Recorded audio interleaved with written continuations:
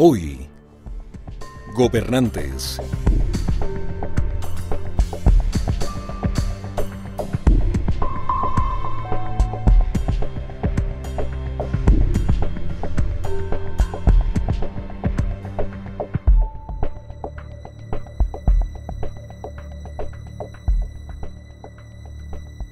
Base Naval de Málaga.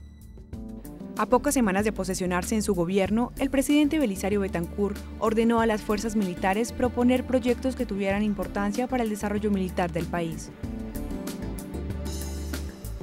La Armada Nacional sugirió entonces construir una base naval en el Pacífico que contribuyera a la guarda de la soberanía marítima colombiana.